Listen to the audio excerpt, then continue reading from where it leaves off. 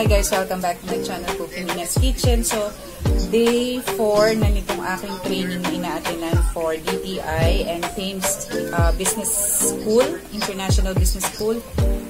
So, digital marketing hindi discuss. So, while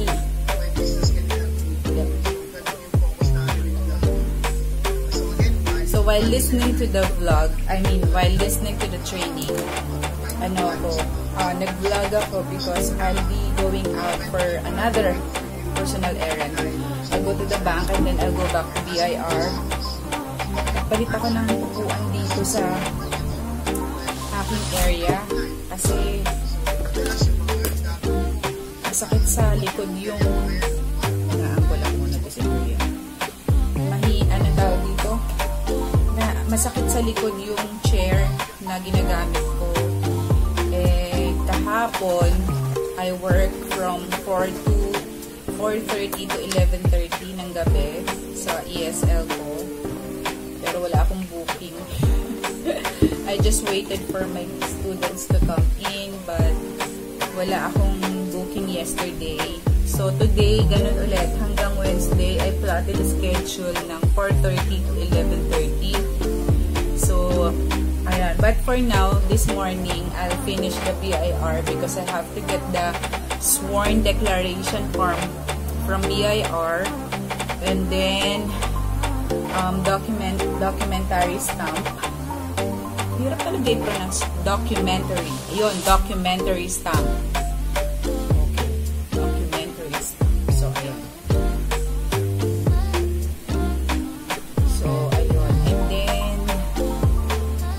Have to send this. I have to send the the sworn declaration, the hard copy to the to the office. So, ayun. So, now, I'll be doing a very light makeup lang din. As usual.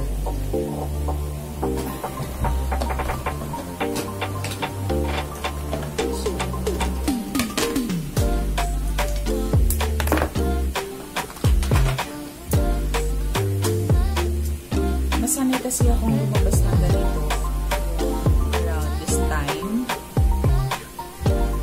Mas comfortable ako. Yung towards lunch break na. Kasi alam ko maraming yung iba ayaw lang, ayaw pumunta ng ng mga ganyan pag during lunch break. But it depends. Ewan ko, basta ako gusto ko yung ganitong oras.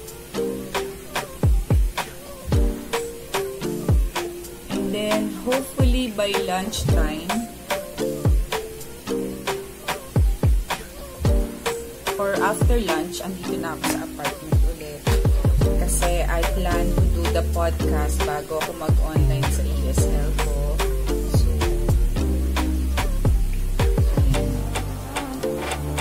so basically, this is how I do lang tayo dun sa ano, 10 a.m. in the morning. Tapos mamaya, itsura ko para na akong super haggard. Alam niyo tagal na nitong brush na to dito, hindi ko ginagamit. Okay pala siya sa foundation, sa liquid foundation. Yung ginagamit ko na synthetic, medyo matigas yung brush niya, yung bristles niya. Tapos naghimul-himul na siya, natanggal-tanggal na siya. So, ayun. Alam naman, kilay lang, highlight lang the kilay.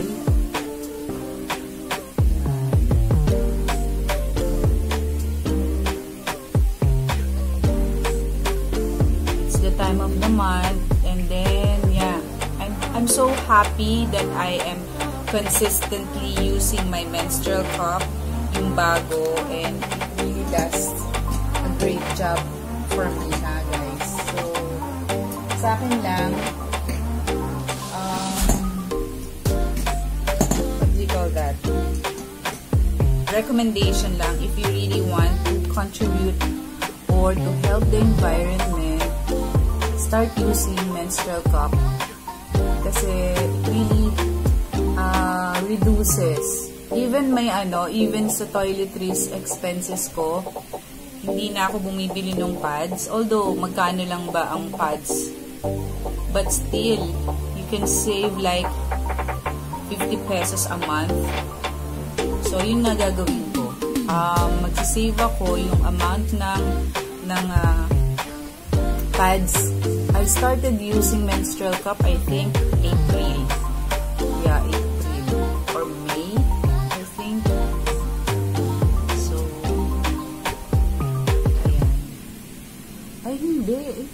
April nga ba? When was the first time I used that? Lockdown ko ba siya ginamit? Balikan ko yung ano ko, balikan ko yung vlog ko about that.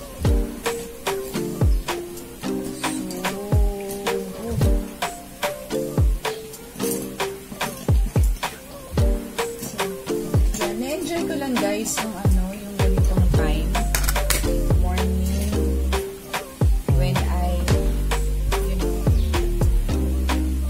normally ginagawa ko, I listen to the radio, balita, music, tapos dali nakikinig ako ng, ay nanonood ako ng YouTube every morning when I wake up.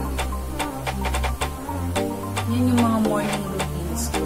And then guys, nga pala, may I just remind, ano, yung, yung podcast na gagawin ko about narcissist, I'm not referring to myself naman on. Okay? So, i-explain ko during my podcast yung thoughts, my thoughts about it. Um, I don't actually, disclaimer lang, no, I don't actually um, recommend or whatever all all the resources that I get para sa aking podcast basically is for my reference.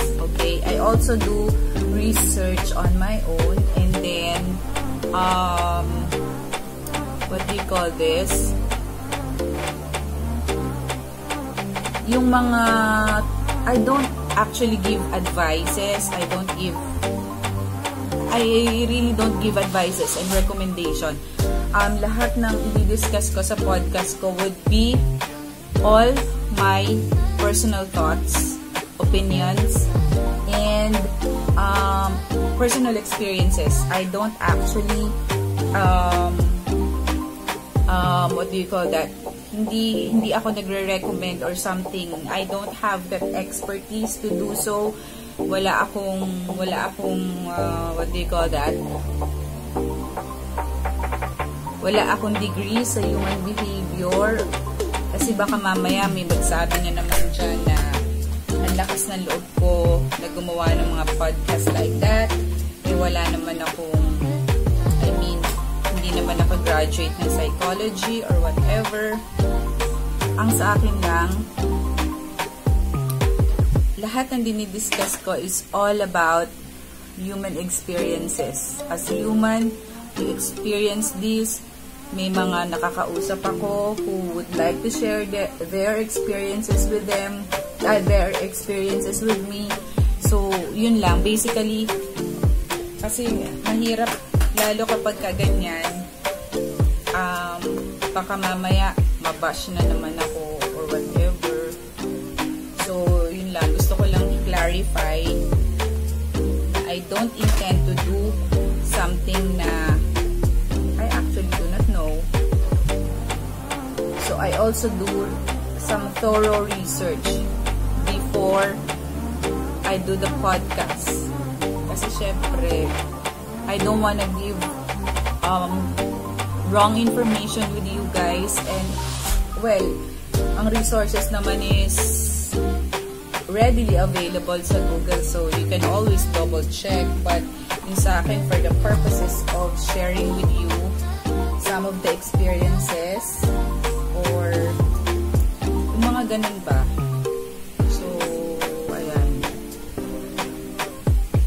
I love putting highlights on my nose alam niyo naman keep yung nose ko diba so it gives that, ano, parang illusion na may tangos yung ilong ko. Kahit wala.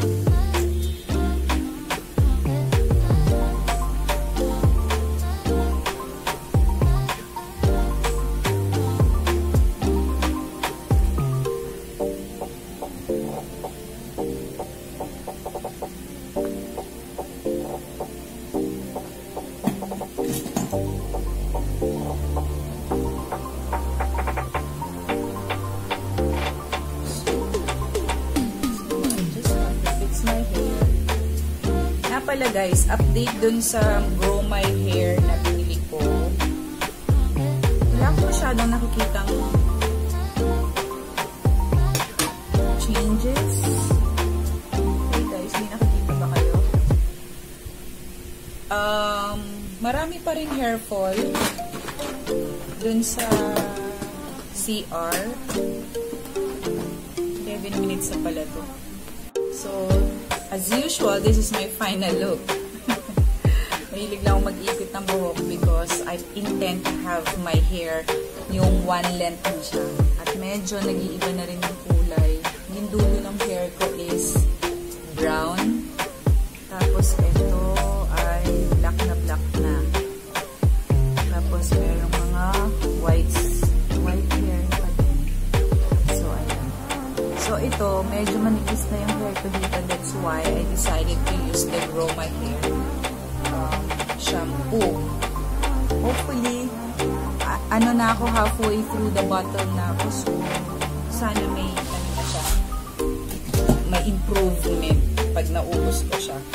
Pagka gumanda yung, I mean, pagka medyo kumapal yung hair ko with that shampoo, pag naubos ko na siya, bibili ulit ako. And then, I plan to buy two bottles siguro for, um, for Manong. I still have the chance to give it to him. Okay? Hi guys! Welcome back to my channel. So ayan, I just got home from uh, work, from Apicius. Actually, hindi naman ako nag-work. Nag-judge lang ako sa isang uh, final practical activity ng isang batch namin sa Apicius. So, I was, you know, one of the judges. So, ayan. And I have my uh, token I got this from the school, so I'm going to open this up. Guys, it's a Filipino cuisine. Yung mga bata nagluto ng Filipino cuisine. And I really got so um, excited and na-miss ko ang Filipino cuisine actually. So, ayan. So, pero medyo tumaas yata yung aking blood pressure naman. Nasakit na naman yung aking batok. so, this is what I got from the school. So, this is a mug. So, you know guys how I love receiving gifts na mug. So, ayan. Alam nilang orange yung favorite color ko. And nakalagay dito, it's going to be, ano to?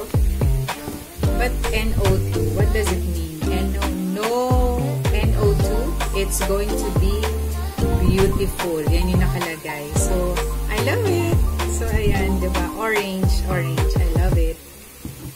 And, I bought two cans of pineapple juice which I will drink tonight kasi talaga masakit ang bato ko. I still have to work until 11.30 for my ESL um, job. So, ayan. So, I love this one.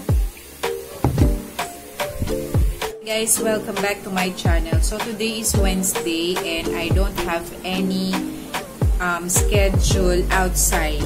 So, ayan. So, meaning to say, lahat ng activities ko would be from home. So, this morning, it's already, what time is it now? It's 12, actually 10 minutes to 1 o'clock. So, late lunch ako because I had my online training ng 10 to 12 and then lumabas lang ako saglit to go to the metro. Nag, bumili lang ako ng eggs, isang isang box ng eggs. Kasi, uh, yun, kailangan ko naman ng protein.